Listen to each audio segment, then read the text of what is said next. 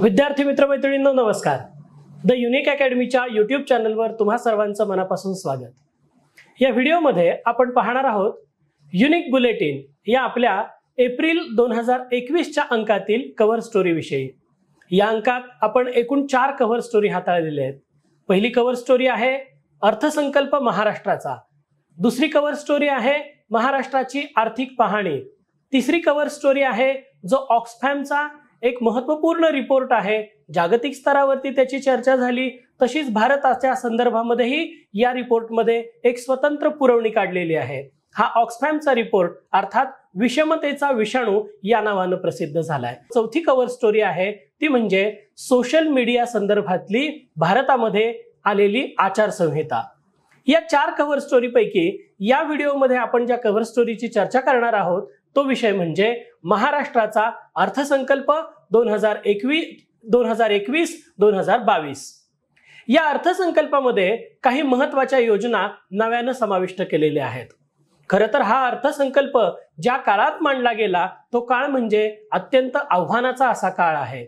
कोविडची पार्श्वभूमी त्याच्या अगोदर आर्थिक मंदीची पार्श्वभूमी येणाऱ्या काळातली आरोग्य विषयक शिक्षण विषयक मोठ्या प्रमाणात असणारी आव्हानं या आव्हानांच्या पार्श्वभूमीवर हा अर्थसंकल्प मांडला गेलेला आहे.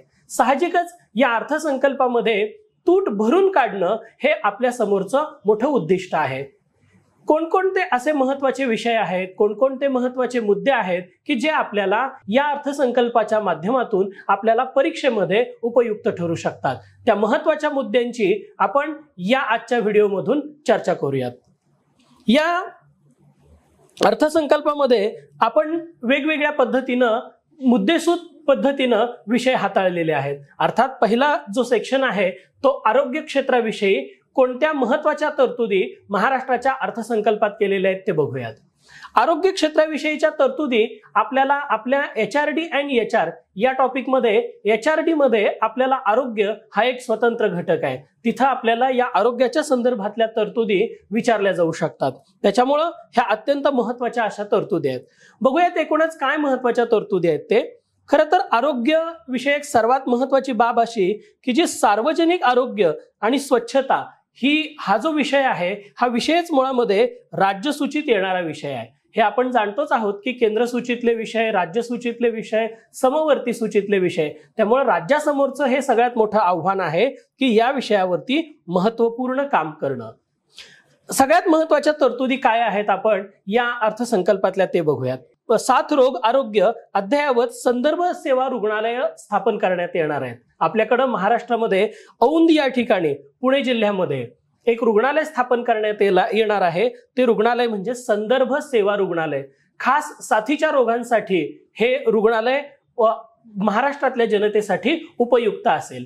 इथून पुढच्या कालावधीमध्ये हे रुग्णालय स्थापन झाल्यानंतर राज्यात विभागीय स्तरावरती आणि जिल्हा स्तरावरती याची काही शाखा निर्माण करण्यात येणार आहेत. दुसरा महत्त्वाचा मुद्दा म्हणजे आपल्याला याच्या अगोदर परीक्षेमध्ये प्रश्न विचारले गेलेले आहेत या योजनेवरती. महात्मा ज्योतिबा फुले जन आरोग्य योजना. या योजनेमध्ये एकूण आता सद्यस्थिती जर बघितली तर नऊशे शहाण्णव इतके उपचार केले जाणार आहेत. म्हणजे इतक्या रोगांवरती या योजनेच्या अंतर्गत उपचार केले जाणार आहेत. आणि रुग्णालयांची संख्या प्राधिकृत रुग्णालयांची संख्या ही पूर्वी चारशे शहाण्णव होती ती आता एक हजार असणार आहे इथून पुढच्या कालावधीमध्ये. त्यामुळं आपल्याला हा हा आकडा देखील येणाऱ्या परीक्षांमध्ये विचारला जाऊ शकतो. आरोग्य क्षेत्राविषयीची पुढची एक महत्वाची तरतूद या ठिकाणी अर्थसंकल्पामध्ये केलेली आपल्याला आढळेल ती म्हणजे कोविडोत्तर समुपदेशन आणि उपचार केंद्र.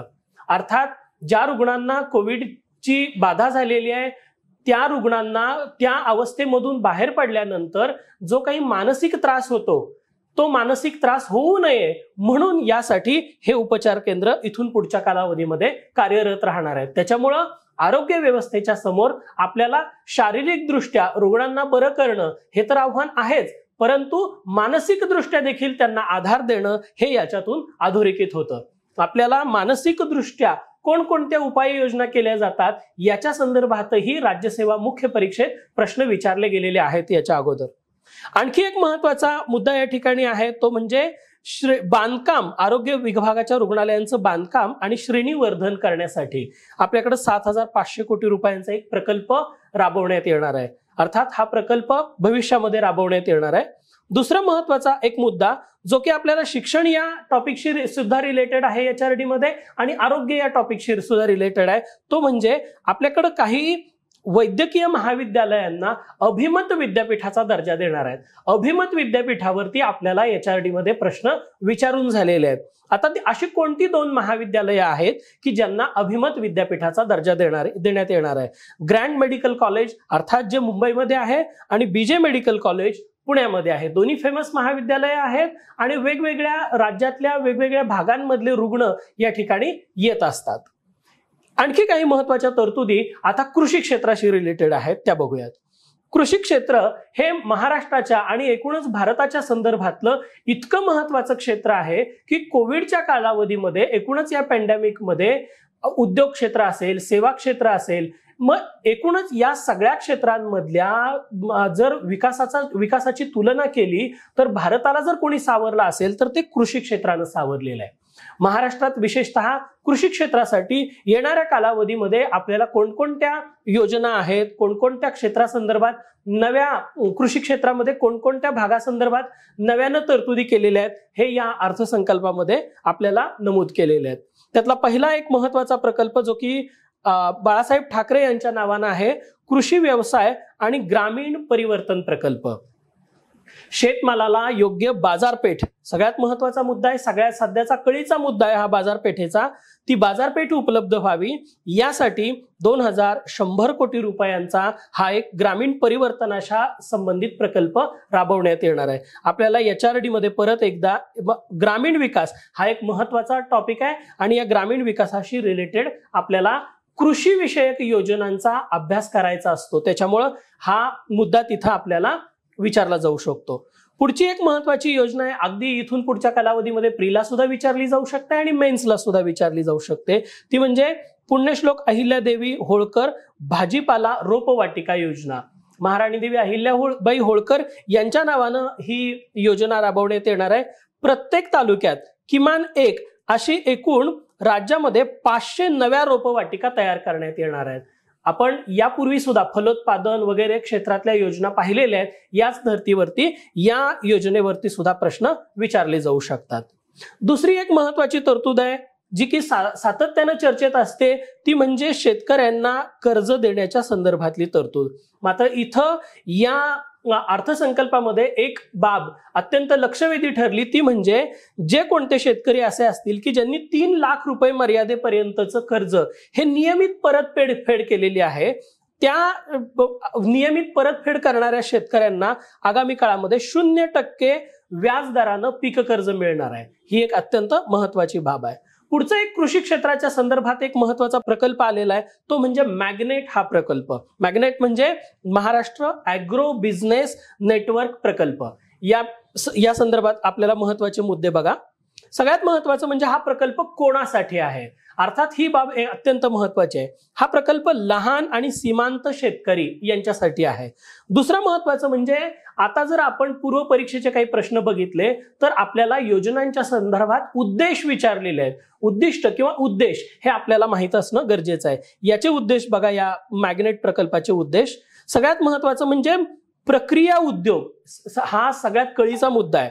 शेतमालाच्या संदर्भामध्ये प्रक्रियेत सुधारणा करणे. आणि दुसरी महत्वाची गोष्ट जे काही नाशवंत माल होतं ते त्याचं नुकसान कमी करणं. आणि सगळ्यात महत्वाचं म्हणजे शेतकऱ्यांच्या उत्पादनात आगामी काळामध्ये वाढ करणं. हे या मॅग्नेट प्रकल्पाचा उद्देश आहे.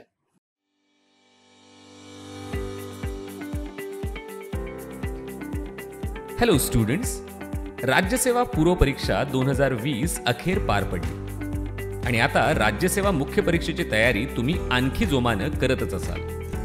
या तयारीत तुमच्या मदतीसाठी द युनिक अकॅडमीची महाराष्ट्रव्यापी टेस्ट सिरीज येत्या चार एप्रिलपासून सुरू होत आहे. संपूर्ण अभ्यासक्रमावर आधारित एकूण चोवीस ज्यामध्ये सामान्य अध्ययन पेपर एक ते चार अशा एकूण सोळा तर भाषा विषयाच्या एकूण आठ टेस्ट असतील. आयोगाच्या धर्तीवर द्वैभाषिक स्वरूपात या सर्व टेस्ट उपलब्ध असून त्यांचं विश्लेषण देखील द्वैभाषिक स्वरूपात छापील तसंच व्हिडिओच्या स्वरूपात उपलब्ध असेल. अधिक माहितीसाठी अठ्ठ्याण्णव नव्वद एकोणीस एकोणतीस एकोणतीस किंवा एकोणनव्वद छप्पन्न नव्याण्णव चव्वेचाळीस नव्याण्णव या आमच्या क्रमांकावर संपर्क साधा. तसंच द युनिक अकॅडमीची वेबसाईट अथवा मोबाईल ॲप आजच इन्स्टॉल करा. कोविड पॅन्डेमिकच्या कारणास्तव या सर्व टेस्ट ऑनलाईन स्वरूपात उपलब्ध असतील कारण स्पर्धा परीक्षांच्या तयारीला लॉकडाऊनचं बंधन नसतं. धन्यवाद. बघूयात आणखी महत्त्वाच्या योजना अर्थात पायाभूत सुविधांच्या संदर्भात आपल्या अर्थसंकल्पामध्ये असणाऱ्या तरतुदी. एक महत्वाची तरतूद आहे जी तरतूद आपल्याला मुंबई गोवा जो महामार्ग आहे याला एक पर्यायी महामार्ग म्हणून रेवस रायगड जिल्ह्यात आहे ते रेड्डी सिंधुदुर्ग जिल्ह्यातला. हा एकूण महामार्ग पर्यायी महामार्ग तयार होणार आहे. याच्या हा साधारणपणे पाचशे चाळीस किलोमीटर इतका महामार्ग आहे आणि या सागरी महामार्गाच्या कामासाठी नऊ हजार पाचशे त्र्याहत्तर कोटी रुपयांची तरतूद केलेली आहे. आपल्याला तरतुदी देखील अर्थशास्त्रामध्ये विचारल्या जाऊ शकतात. आता आपल्याला अगदी सिंपल प्री प्रिलिमसाठी सुद्धा हा प्रश्न विचारला जाऊ शकतो की हा जो पर्यायी महामार्ग आहे तो नेमका कुठून कुठपर्यंत असणार आहे? तो रेवसपासून रेड्डी पर्यंत असणार आहे. त्याच्यामुळं हा एक बीट आपल्याला लक्षात ठेवायचा आहे दुसरं एक महत्वाचं एका उपनगरीय महामार्गाचं नामकरण केलेलं आहे ते म्हणजे विलासराव देशमुख पूर्व मुक्त मार्ग. जो पूर्वी दक्षिण मुंबईला पूर्व उपनगरांशी जोडणारा महामार्ग होता हा पूर्व मुक्त महामार्ग पूर्व मुक्त मार्ग त्याचा आता विलासराव देशमुख पूर्व मुक्त मार्ग असा एक सिंपल हा एक भाग आहे. दुसरा महत्त्वाचा मुद्दा आहे की पुणे आणि सोलापूर या ठिकाणी नव्यानं विमानतळ उभारण्यासाठी काही तरतुदी आगामी काळामध्ये केल्या जाणार आहेत. एक DMIC Delhi Mumbai industrial corridor हा सातत्यानं चर्चेत असणारा भाग आहे. मराठवाड्याच्या विकासासंदर्भामध्ये ज्या ज्यावेळी चर्चा होते त्यावेळी डीएमआयसीची चर्चा आवर्जून केली जाते. आता डीएमआयसीच्या संदर्भामध्ये काय कुठल्या पद्धतीने यात तरतूद केलेली आहे बघा. तर सातारा जिल्ह्यात आंतरराष्ट्रीय दर्जाच्या औद्योगिक वसाहती निर्माण करणार आहेत. म्हणजे मराठवाड्याच्या संदर्भात या अगोदर डीएमआयसीची चर्चा केली जात होती. मात्र आता सातारा जिल्ह्याच्या संदर्भामध्ये एक महत्वाची तरतूद करण्यात आलेली आहे. ती म्हणजे औद्योगिक वसाहत येणाऱ्या काळामध्ये सातारा जिल्ह्यात निर्माण केली जाणार आहे. पायाभूत सुविधातल्या या महत्त्वाच्या बाबींसाठी आपल्याला जर काय आवश्यक असेल तर मनुष्यबळ आवश्यक असतं. म्हणजे उद्योगधंदे असतील शेती असेल एकूणच देशाची प्रगती व्हायची असेल तर आपल्याला चांगल्या दर्जाचं मनुष्यबळ असल्याशिवाय आपण ती प्रगती करू शकत नाही. मग हे चांगल्या दर्जाचं मनुष्यबळ निर्माण होण्यासाठी केंद्रीय मनुष्यबळ विकास मंत्रालय अर्थात आताचं शिक्षण मंत्रालय तर कार्यरत आहेच. परंतु महाराष्ट्रामध्ये या मनुष्यबळाच्या विकासासाठी काही महत्त्वाच्या तरतुदी केलेल्या आहेत. त्या तरतुदी आता आपण या ठिकाणी पाहूयात. यातली महत्वाची तरतूद आहे आदर्श शाळा उपक्रम. आता एकूणच बघा म्हणजे हा इथून पुढच्या कालावधी चार वर्षाचा कालावधी आहे आणखी बाकी. या आगामी चार वर्षामध्ये प्रत्येक तालुक्यात किमान चार अशा शाळा विकसित करण्यात येणार आहेत. आदर्श शाळा. आदर्श शाळा प्रारूप आपल्याला अभ्यासासाठी आहे. एच आर डी मध्ये शिक्षण हा घटक आहे. त्याच्यामध्ये आदर्श शाळा या विषयावर प्रश्न विचारून झालेले आहेत.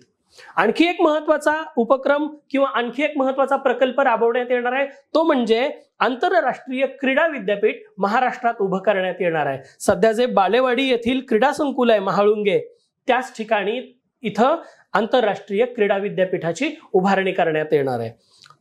जेणेकरून भारताला चांगले चांगले खेळाडू आपल्याला महाराष्ट्रातून देता यावेत. दुसरी महत्त्वाचा मुद्दा म्हणजे राजीव गांधी विज्ञान तंत्रज्ञान पार्क. खरं तर विज्ञानाच्या शिक्षणासोबत वैज्ञानिक दृष्टिकोन असण्याची खूप मोठी गरज आहे. आणि हा वैज्ञानिक दृष्टिकोन विकसित करण्याच्या उद्देशानं या प्रत्येक जिल्ह्याच्या महाराष्ट्रामधल्या प्रत्येक जिल्ह्याच्या मुख्यालयाच्या ठिकाणी हे राजीव गांधी विज्ञान तंत्रज्ञान पार्क उभं करण्यात येणार आहे. आता पुढची एक महत्वाची योजना आहे. आपण सातत्यानं एक बाब चर्चेत आहे ती म्हणजे बेरोजगारीची. दहावीच्या नंतर ज्यांनी किमान कौशल्याचं शिक्षण घेतलेलं आहे त्यांच्यासाठीची काय महत्वाची योजना आहे बघूयात आपण. महाराष्ट्र शिकाऊ उमेदवारी योजना. येणाऱ्या काळामध्ये कालावधीमध्ये आपल्याला या योजनेच्या संदर्भात प्रश्न विचारले जाण्याची शक्यता आहे. ही योजना नेमकी कोणासाठी आहे बघा? ही योजना दहावी उत्तीर्ण. दुसरी महत्वाची गोष्ट आगामी पाच वर्षात काय करायचंय आपल्याला?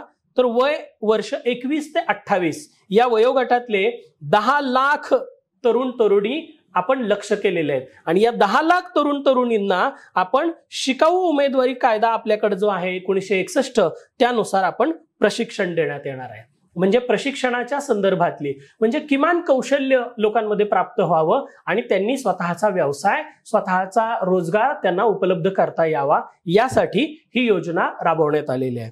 अशा प्रकारच्या या मनुष्यबळ विकासातल्या योजनेनंतर आणखी एक महत्वाची योजना शिक्षणाच्या संदर्भातली आहे जी आपण या अगोदर खरं तर केंद्रीय स्तरावरती देखील त्याची चर्चा झाली आणि महाराष्ट्राच्या संदर्भात ही योजना कशा पद्धतीनं महाराष्ट्र शासन राबवू शकतंय? स्टार्स योजना. स्टार्स म्हणजे काय आहे? आपल्याला हा अगदी लॉंग फॉर्म सुद्धा लक्षात राहण्याची आवश्यकता आहे. कारण बऱ्याचदा आपल्याला प्रिलिममध्ये काही लॉंग फॉर्म जरी काही योजनांचे माहिती असले तरी देखील त्या योजनांचे प्रश्न आपल्याला सहज सुटू शकतात. स्टार्स म्हणजे strengthening teaching learning and result for states ही या प्रकारची महत्वाची योजना आहे जी की बारावी शिक्षणासाठी मूलभूत सुधारणांकरता शिक्षण पद्धतीचं बळकटीकरण करणं हा जागतिक बँकेच्या सहाय्यानं राबवण्यात येणारा हा प्रकल्प आहे. हा प्रकल्प मुळातच आपल्या शिक्षण व्यवस्थेचं बळकटीकरण करणं या उद्देशानं राबवण्यात येतोय. याला सहाय्य कुणी केलं? ह्या देखील सिंपल असा एखादा प्रश्न आपल्या येणाऱ्या काला कालावधीमध्ये निर्माण होऊ शकतो. दुसरं महत्वाचं म्हणजे कौशल्य विद्यापीठ. कौशल्य विद्यापीठाचा उद्देश हाच आहे की भारतातल्या विशेषतः महाराष्ट्रातल्या अधिकाधिक लोकांना कौशल्याचं शिक्षण प्राप्त व्हावं. आणि त्यांनी स्वतःचा रोजगार स्वतःला निर्माण करता यावा. ह्या कौशल्य विद्यापीठाच्या संदर्भामध्ये आपल्याला येणाऱ्या कालावधीमध्ये महाराष्ट्रात एक स्वतंत्रपणे याची स्थापना करण्यात येणार आहे. खरं तर याचं केवळ सुतोवाट झालेला आहे. आगामी कालावधीमध्ये याच्याविषयी काही डिटेल्स आपल्याला प्राप्त होतील त्यावेळी आपण बघूयातच. हा अर्थसंकल्प ज्या दिवशी मांडला गेला ती तो दिवस होता आठ मार्च. आठ मार्च अर्थातच जागतिक महिला दिवस. या जागतिक महिला दिनी हा अर्थसंकल्प मांडला परंतु या अर्थसंकल्पात देखील महिलांच्या संदर्भात काही महत्त्वाच्या योजना आखलेल्या आहेत. ह्या महत्त्वाच्या योजना कोणत्या आहेत? ह्या नव्या योजनांच्या संदर्भात येणाऱ्या कालावधीमध्ये आपल्याला प्रश्न विचारले जाऊ शकतात. पूर्व परीक्षेतही विचारले जाऊ शकतात. अगदी कंबाईन आणि राज्यसेवा पूर्व परीक्षेत आणि मुख्य परीक्षेचा विचार कराल तर आपल्याला एच आर डी आणि एच आर जीएस पेपर तीन मध्ये आपल्याकडे एच आरसाठी महिला विकास हा स्वतंत्र घटक आहे. या घटकामध्ये या योजनांचा समावेश होऊ शकतो. यातली पहिला यो पहिली योजना आहे ती म्हणजे राजमाता जिजाऊ गृहस्वामिनी योजना. तुम्ही जर योजनेचं नाव व्यवस्थित वाचलं तरी देखील आपल्याला लक्षात येईल गृहस्वामिनी म्हणजे घराची स्वामिनी. थोडक्यात आपण असा अर्थ घेऊया. अशा पद्धतीची ही योजना आहे की ज्या महिलेचं घर ज्या महिलेच्या नावावरती ते घर जर करण्यात येणार असेल तर त्या घराचं रजिस्ट्रेशन करत असताना एक टक्का मुद्रांक शुल्कामध्ये सवलत देण्यात येणार आहे. म्हणजे एक टक्का सवलत ही काही हजारांच्या घरामध्ये जात असते. त्याच्यामुळं हा एक महत्त्वाच्या योजनेचा फायदा होऊ शकेल. ह्या योजना यासाठी करण्यात आलेली आहे की अधिकाधिक महिलांचा सन्मान केला जावा महिलांच्या नावावर त्यांचं घर असावं घर महिलांच्या नावावर असावं. हे जरी प्रतिकात्मक असलं तरी महिलांचा सन्मान महिलांची प्रतिष्ठा हे याच्यामध्ये अनुस्यूत असलेली महत्वाची बाब आहे. सावित्रीबाई फुले यांच्या नावानं ही एक महत्वाची योजना आहे. क्रांतीज्योती सावित्रीबाई फुले विद्यार्थिनी प्रवास सवलत योजना.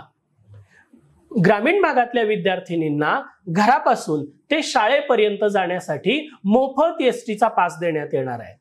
दुसरं महत्वाचं बाब म्हणजे महाराष्ट्र शासनातर्फे दीड हजार सीएनजी आणि हायब्रिड बस देखील आपल्या महामंडळाला एस टी महामंडळाला उपलब्ध करून देण्यात येणार आहेत या योजनेच्या अंतर्गत. जेणेकरून विद्यार्थिनींच्या शिक्षणासाठी खूप मोठ्या प्रमाणावरती आपण त्यांना प्रमोट करतोय. तिसरी महत्वाची योजना म्हणजे जी संत जनाबाई यांच्या नावानं राबवली गेलेली आहे. संत जनाबाई सामाजिक सुरक्षा आणि कल्याण योजना. असंघटित कामगारांबद्दल आपल्याकडे नेहमी चर्चा होते. मात्र असंघटित क्षेत्रामध्ये पुरुषांच्या तुलनेमध्ये स्त्रियांची संख्या थोडीशी अधिक आहे. स्त्रियांची विशेष चर्चा करण्याची आपल्याकडे आवश्यकता देखील आहे. आणि स्त्रियांच्या संदर्भात विशेषत्वानं एखादी योजना चालू करण्याचं श्रेय हे महाराष्ट्र शासनाला द्यायला हवं. महाराष्ट्रामध्ये हा प्रकल्प राबवण्यात येणार आहे. हा प्रकल्प येणाऱ्या कालावधीमध्ये महिलांच्या संदर्भात महत्त्वाचा असा राबवण्यात येणार आहे. दुसरी महत्वाची गोष्ट म्हणजे नव तेजस्विनी महाराष्ट्र ग्रामीण महिला उद्यम विकास. ही एक हे एक अभियान राबवण्यात येणार आहे. या अभियानाच्या अंतर्गत महत्वाचं म्हणजे नवतेजस्विनी हे एक लक्षात ठेवा की नवतेजस्विनी आणि महाराष्ट्र ग्रामीण महिला उद्यम विकास हे ज्या ज्या वेळी येईल त्या त्यावेळी याचा संबंध हा बचत गटांशी स्वयंसहाय्यता बचत गटांशी आपल्याला जोडायचा आहे. बचत गटांच्या माध्यमातून दहा लाख महिलांना उपजीविकेची साधनं उपलब्ध करून देणं हे आपलं या पाठीमागचं महत्वाचं उद्दिष्ट आहे. दुसरी एक महत्वाची बाब आहे ती आगामी कालावधीमध्ये राज्य राखीव पोलीस दलामध्ये एक महिलांचा स्वतंत्र गट स्थापन करण्यात येणार आहे. ही देखील आपल्यासाठीची भारत महाराष्ट्रासाठीची विशेषतः महत्वाची बाब आहे. सामाजिक क्षेत्रासाठी आपल्याला काही महत्त्वाच्या योजना आहेत आणि सामाजिक क्षेत्रासाठीच्या योजना देखील आपल्या परीक्षेमध्ये येणाऱ्या मेन्सला पण आपल्याला विचारल्या जाऊ शकतात. एक महत्वाची योजना आहे ती या ठिकाणी उद्धृत करतो. आदिम जमातींसाठी एकात्मिक वसाहत. आता यापूर्वी कोणासाठी वसाहत होती आणि आता कोणासाठी वसाहत निर्माण होणार आहे हे आपल्याला लक्षात ठेवायचं यातून. दुसरा भाग लक्षात ठेवायचा आहे की आदिम जमाती म्हणजे नेमकं कोणाला म्हणायचं? आता ते बघूयात. आदिम जमाती कोणाला म्हणायचं? कातकरी कोलाम आणि माडिया गोंड. ह्या राज्यातल्या आपल्या तीन महत्त्वाच्या आदिम जमाती आहेत. आता सध्या आपल्याकडं जांभूळपाडा या ठिकाणी कातकरी समाजाची एक वसाहत प्रस्तावित आहे. लवकरच ती होईल पण. आता जांभूळपाडा या ठिकाणी कातकरी समाजाची वसाहत आहे. तर आता कोलाम आणि माडिया गोंड या समाजासाठी आता येणाऱ्या कालावधीमध्ये अशा पद्धतीच्या एकात्मिक वसाहती राबवण्यात येणार आहेत. आणि या वसाहतीमध्ये शैक्षणिक व्यावसायिक अशा पद्धतीच्या सुविधा देखील त्यांना देण्यात येणार आहेत. ही आदिवासी बांधवांसाठी केलेली महत्वाची योजना आहे. दुसरी एक महत्वाची योजना येणाऱ्या कालावधीमध्ये आपल्याला विमुक्त जाती भटक्या जमाती भट भटक्या जमाती विमुक्त जाती आणि विशेष मागास प्रवर्ग आणि ओबीसी यांच्यासाठी आहे. ती म्हणजे सावित्रीबाई फुले घरकुल योजना. तर ही येणाऱ्या कालावधीमध्ये राबवण्यात येणारी योजना आहे. आणखी काही महत्त्वाच्या योजना आहेत ज्याचा केवळ आपल्याला उल्लेख करून चालणार नाही तर या त्या उल- त्या बारकाईनं आपल्याला अभ्यासण्याची आवश्यकता आहे. त्यातली महत्वाची योजना म्हणजे सिंधुरत्न प्रकल्प. सिंधुरत्न अर्थात आपण या शब्दावरून देखील आपल्याला लक्षात येतं की हा प्रकल्प नैसर्गिक साधन संपत्तीच्या संदर्भातला आहे. नैसर्गिक साधन सामग्रीवरती आधारित पर्यटन विकास साधण्यासाठीचा हा प्रकल्प आहे. दुसरा एक महत्त्वाचा आहे तो म्हणजे आमचूर आणि मोहफूल प्रकल्प. हा आमचूर आणि मोहफूल अर्थात हा नंदुरबार आणि गडचिरोली हे दोन आकांक्षी जिल्हे आहेत. ॲस्पिरेशन जे दोन आकांक्षी जिल्हे मानव विकास कार्यक्रमाअंतर्गत येतात आणि या कार्यक्रमाअंतर्गत हा प्रकल्प राबवण्यात येणार आहे. पुढची एक पत्रकारांसाठीची योजना आहे ती म्हणजे बाळशास्त्री जांभेकर पत्रकार सन्मान योजना. याच्या अंतर्गत पत्रकार बांधवांसाठी भगिनींसाठी विशेषतः सामाजिक कल्याणाच्या योजना देण्यात येतात त्यांना घरं देण्यात येतात. याशिवाय बाळशास्त्री जांभेकरांच्या गावी पोंभुर्ले या ठिकाणी पोंभुर्ले जिल्हा सिंधुदुर्ग तालुका देवगड या ठिकाणी त्यांचं स्मारक उभं केलं जाणार आहे. पुढची एक महत्वाची योजना आहे ती म्हणजे शिवस्वराज्य सुंदर ग्राम योजना. शिवस्वराज्य सुंदर ग्राम योजना योजनेच्या अंतर्गत तालुका ते राज्य पातळीपर्यंत पुरस्कार देण्यात येणार आहेत. या माध्यमातून ग्रामसमृद्धी हा सगळ्यात महत्त्वाचा उद्देशाचा हा भाग आहे. अशा पद्धतीनं काही महत्त्वाच्या योजना आपण या आताच्या व्हिडिओमध्ये पाहिल्या. संपूर्ण लेख वाचण्यासाठी तुम्ही एप्रिल दोन हजार एकवीसचा आपला युनिक बुलेटिनचा अंक घ्या. युनिक बुलेटिनच्या अंकातून संपूर्ण लेख अवश्य वाचा. याशिवाय आपल्या बुलेटिन मासिकातून आपण ज्या कव्हर केलेल्या वेगवेगळ्या स्टोरीज आहेत वेगवेगळे विषय आहेत ते देखील अवश्य वाचा. अंक कसा वाटला ते आम्हाला आवर्जून कळवा. धन्यवाद.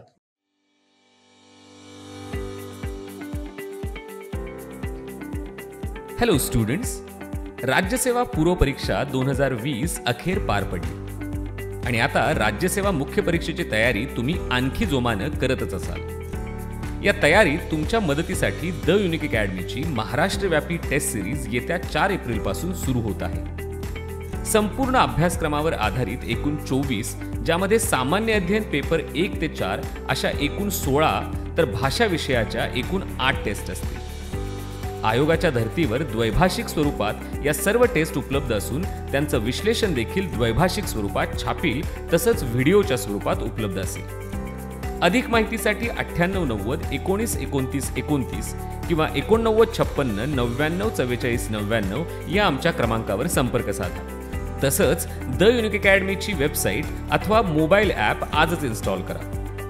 कोविड पॅन्डेमिकच्या कारणास्तव या सर्व टेस्ट ऑनलाईन स्वरूपात उपलब्ध असतील कारण स्पर्धा परीक्षांच्या तयारीला लॉकडाऊनचं बंधन नसतं. धन्यवाद. दी युनिक अकॅडमीचे नवनवीन व्हिडिओज आणि अपडेट्स मिळवण्यासाठी लाईक करा सबस्क्राईब करा आणि शेअर करा.